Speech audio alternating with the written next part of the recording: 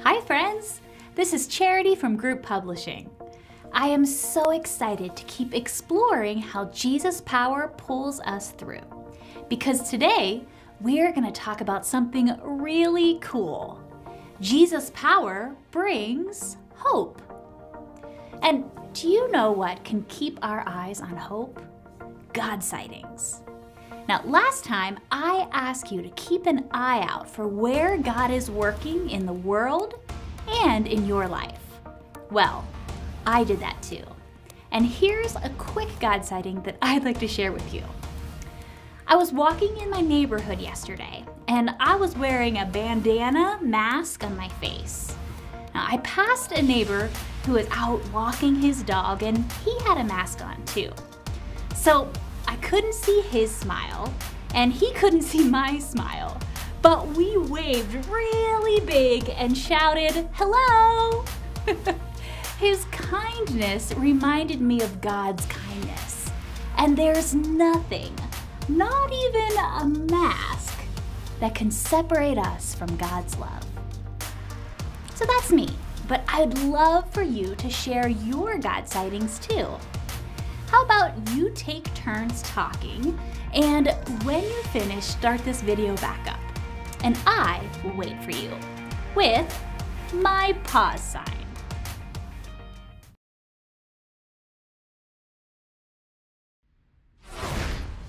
God is at work, friends. Sometimes we just have to look for it. You know, I found a cheery neighbor, but I've also noticed some angry ones. Seems like there are a lot of angry and frustrated people right now. Maybe that's true where you live too? Some grown ups are angry that they can't go to work and earn money to care for themselves and their families. And kids, they're frustrated because they can't get together with friends or play sports or even go to school. And if you've been cooped up with your family for a few weeks, maybe things are a little tense at home too. Well, let's talk about that. Here's a question for your family to discuss together. What has made you angry, frustrated, or tense during the coronavirus situation? Now, I'll put the question on the screen, so you pause and take a few minutes to discuss it. Go ahead.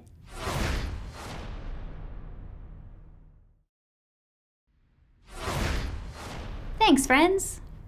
It can really help to talk about our feelings. You know, when you're stuck or disappointed, it's easy to become frustrated and angry. And that's okay. You feel what you feel. But it's what you do when you're frustrated or angry that can really turn things around. So, everyone, up on your feet. Come on, everybody up. It is time to shake and shimmy some of those blues away as we join some friends who have figured out what to do when they're facing hard times. Let's sing together.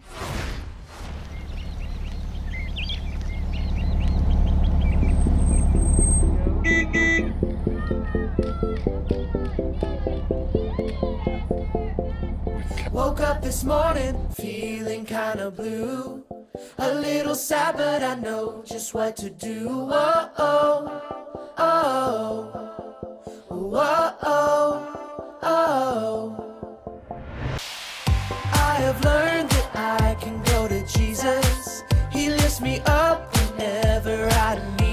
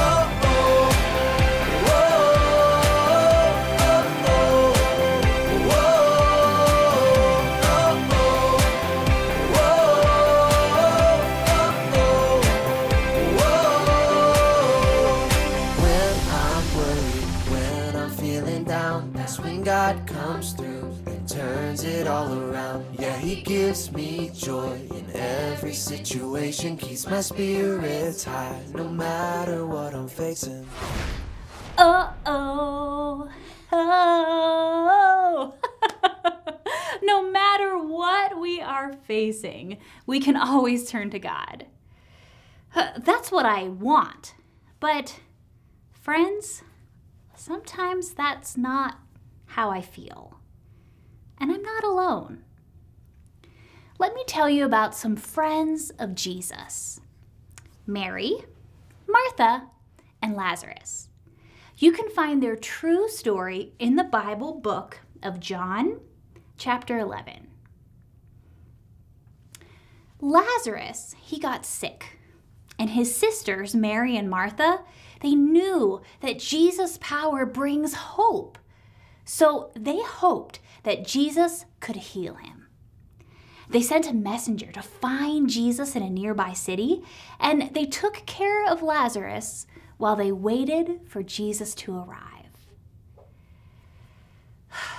But day after day, Lazarus grew weaker, and Jesus didn't come. Mary and Martha couldn't understand why. Jesus, he loved Lazarus, and they knew that Jesus could help. So, where was he? I think they felt that. Wait, I'll show you. So, when I count to three, I want you to take a deep breath and hold it. And then I'll let you know when it's okay to breathe again. Ready? Deep breath. One, two, three. Keep holding your breath. I'll keep going. So I think that Mary and Martha were standing by the door, maybe looking up the road, expecting that any moment Jesus would appear and he'd make everything right again. But, um, just a moment. Ah, yeah. Uh huh. Got it. Yeah. Oh. oh, oh, sorry. Oops, breathe. Everybody breathe. Ah, I'm so sorry.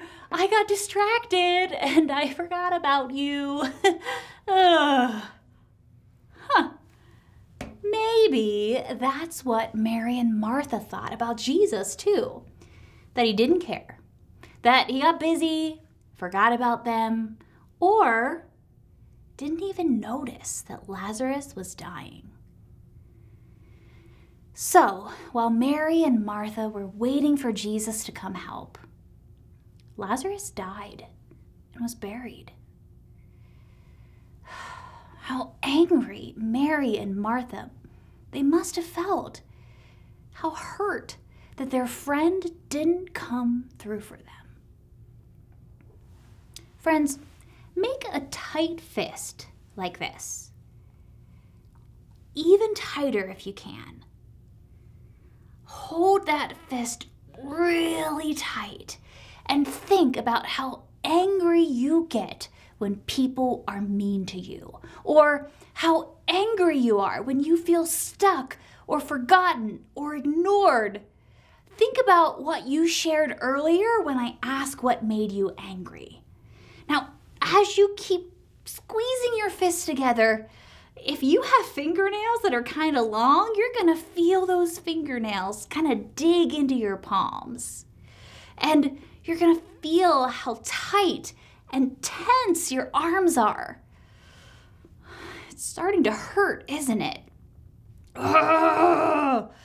Keep holding it. Now, if your nails are long, you might it might be a good idea to loosen just a little bit, but friends, keep these fists as tight as you can. I'll head back to the story.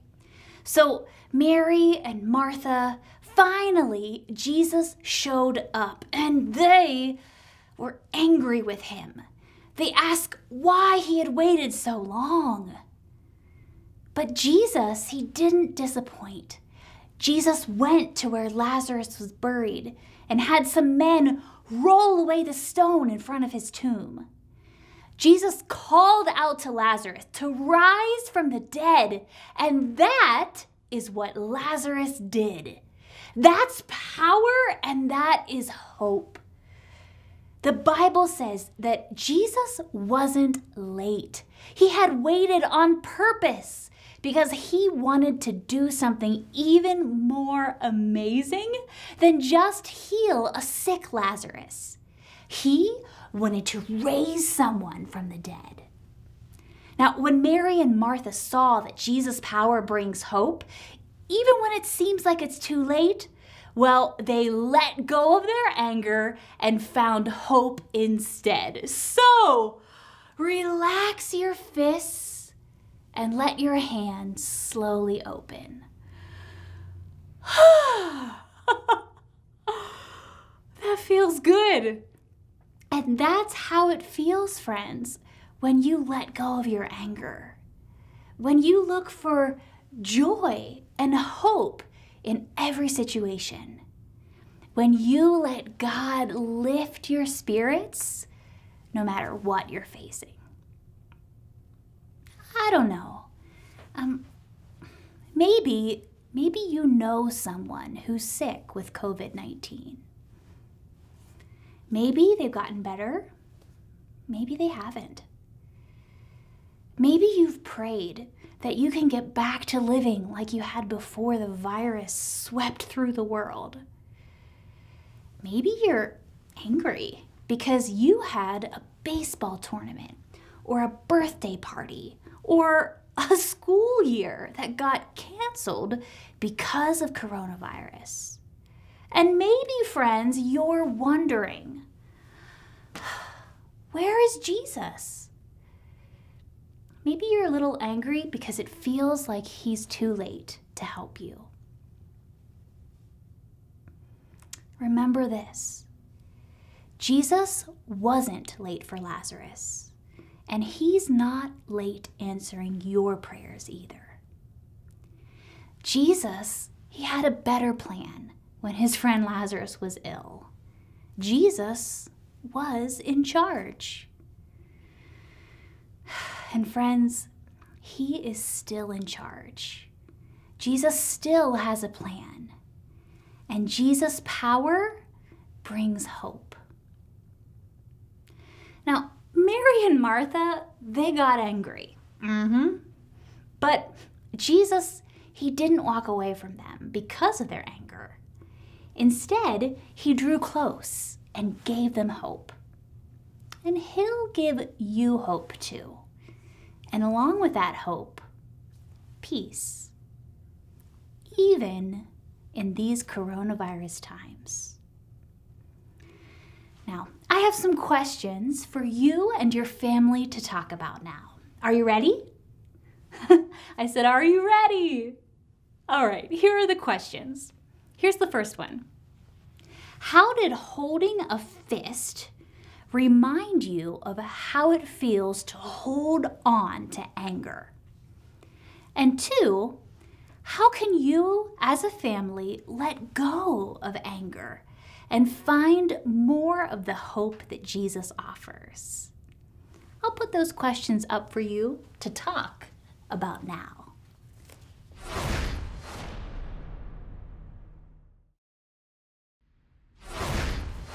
I found that thankfulness helps anger. And remembering what Jesus has done for me in the past gives me hope that He'll keep coming through for me now and in the future too. So let's take a few moments to see what happens when we focus on Jesus' hope. Now, do you see this picture? It doesn't really look like much, does it? There are one, two, three, four dots in the middle, and huh, it just so happens that there are four letters in the word hope. H O P E. So, focus on the four dots in the middle until I take the image down. Oh, really, stare at those dots and try not to blink as little as possible, anyway. We'll keep looking at the picture for 30 seconds and I will tell you when to stop. Are you ready? Set, look.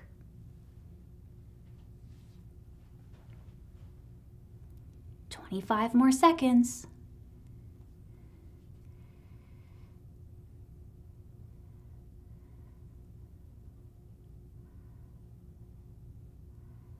Keep looking. 10 more seconds. Look.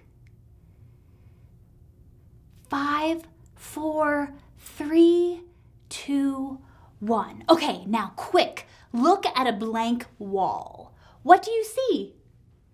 Keep looking at the wall. It might take a few seconds. But do you see him? Do you see Jesus? When we took the time to focus on the four dots, which remind us of the four letters in the word hope, we could see Jesus. or at least what he might have looked like. When we take the time to look for him, friends, we'll see Jesus all around us. Jesus' power brings hope. And when we focus on the hope that Jesus can do something even greater than it seems like, we'll see him at work. He's never too late. Now, I have a request for you. Would you take a few minutes and each share what you're hoping for? What is it that you hope will happen soon? Tell each other and your family, and then after you tell your hope, Pray for what each person said. So share your hope and then pray together about these hopeful prayer requests. Friends, Jesus cares about our hopes and we can always talk with him about it. So go ahead, pause me while you do that. Let's pray and I'll wait for you.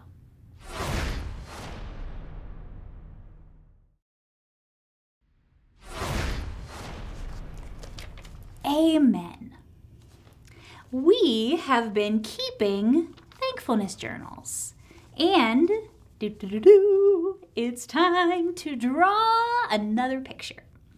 So this time, let's draw things that you are hoping God would do for you. And maybe draw a picture too of the things that He has already done.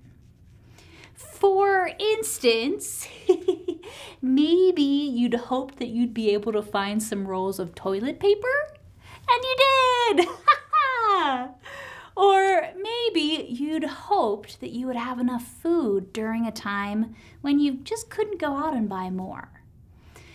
And you're okay.